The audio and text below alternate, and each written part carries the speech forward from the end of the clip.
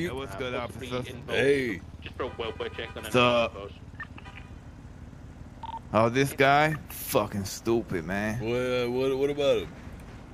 Oh, he been sat inside uh, in the manager's office for like an hour total. We took him out one time and he came back and he was sat in there again, so we took him out again.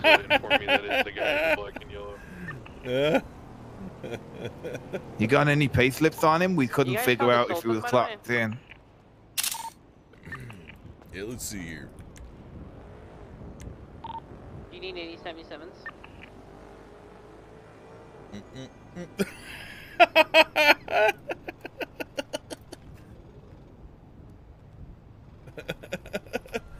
Not anymore. Oh, he did? Yeah, he had 100 on him. What right, you the didn't see fuck? this. Nuh-uh.